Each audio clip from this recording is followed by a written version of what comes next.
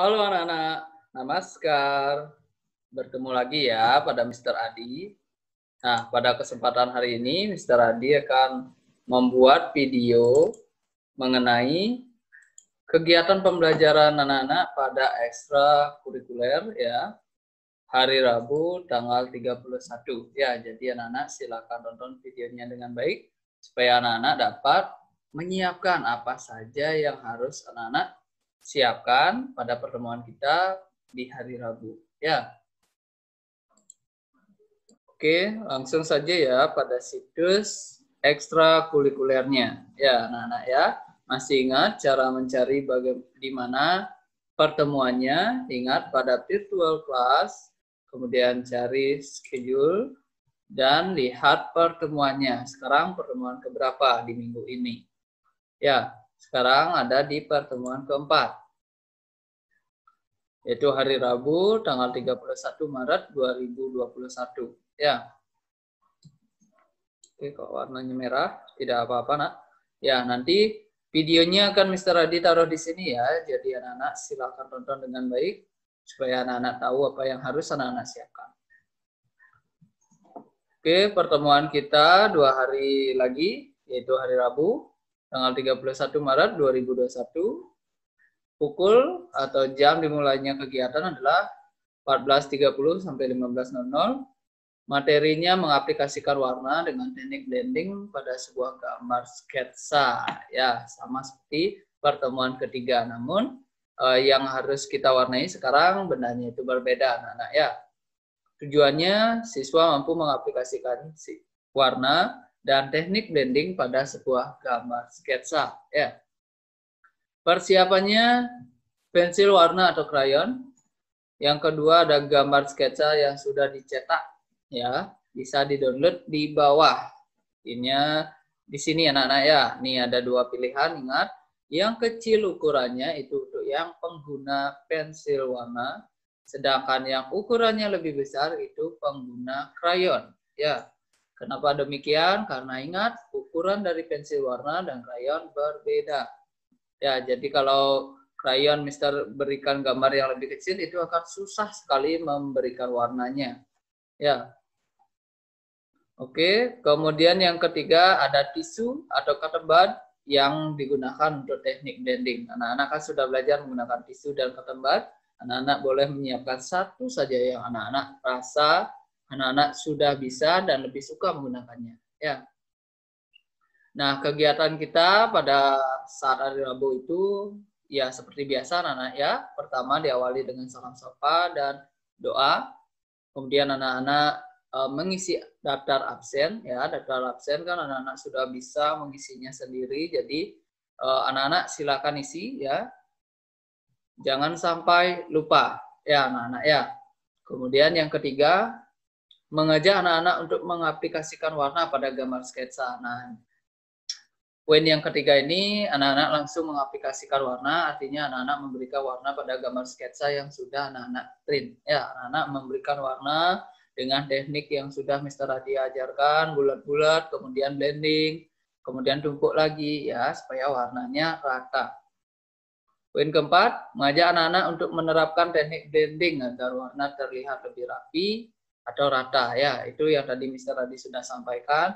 Tolong anak-anak aplikasikan atau gunakan ya apa yang sudah Mister tadi ajarkan supaya nantinya anak-anak mampu menjadi lebih mahir lagi dalam mewarnai ya. Kelima anak-anak mengirimkan hasil karya yang telah dibuat pada Google Form ya upload karyaku.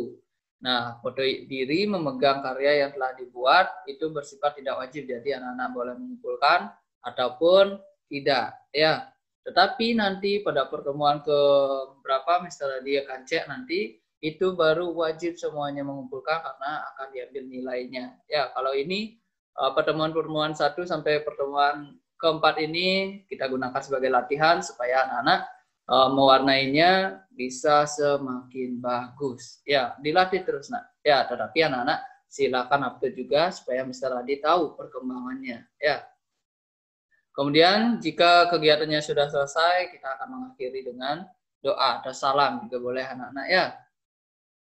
Nah, ingat gambarnya seperti biasa, anak-anak silakan download ya. Tinggal diklik saja, sudah terdownload secara otomatis ya. Jadi anak-anak pengguna pensil warna silakan di-download yang ini. Pengguna krayon silakan klik yang ini supaya bisa di-download. Nah, kemudian untuk ikut Zoom ya, dengan membuka situs ini anak-anak bisa mengikuti Zoom dengan gampang ya, tinggal klik ini saja aplikasinya anak-anak akan langsung join nantinya ya. Tentunya Mr. Adi harus admit dulu ya. Nah, kemudian video recordnya seperti biasa pasti ada di sebelahnya ya. Kemudian upload karyaku. Nah, jika di hari itu anak-anak sudah selesai mewarnai, anak-anak bisa langsung upload ya. Tetapi kalau tidak, anak-anak boleh upload besoknya, ataupun dua hari lagi, atau tiga hari lagi, atau Eh, anak-anak uh, bisa menyelesaikannya di hari Sabtu, ya pada weekend, minggu misalnya, boleh. Ya, tinggal anak-anak upload dan nanti karya anak-anak akan Mr. Adi taruh di bawah sini. Ya, seperti yang sudah-sudah, seperti yang sudah-sudah akan Mr. Adi perlihatkan ya. Ini pada pertemuan yang ketiga.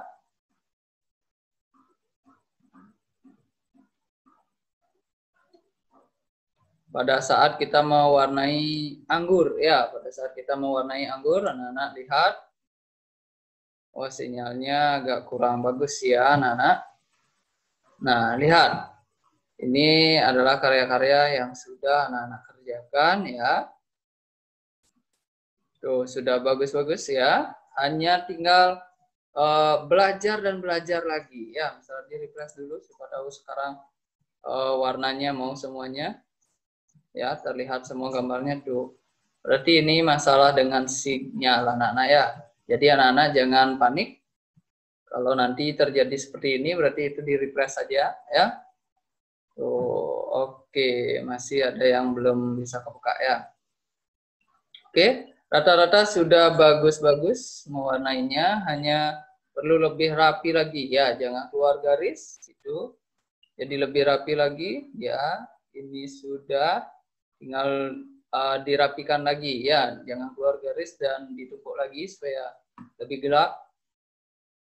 Oke ini masih garis-garis ya. Terlihat sekali masih garis-garis. Jadi gunakan teknik bulat-bulatannya anak-anak ya bagi pengguna krayon nah ini juga ini gambarnya menggambar sendiri ya oke tetapi ya harus dipelajari lagi anak-anak ya harus dipelajari lagi biar lebih terampil menggunakan pensil warna atau krayon dan juga menggunakan teknik dari blending yang sudah Mr. Adi ajarkan ya. Oke, sekian video yang bisa Mr. Adi buat hari ini. Semoga anak-anak menonton dan mempersiapkan diri pada pertemuan keempat nanti. Oke, akhir kata Mr. Adi ucapkan namaskar.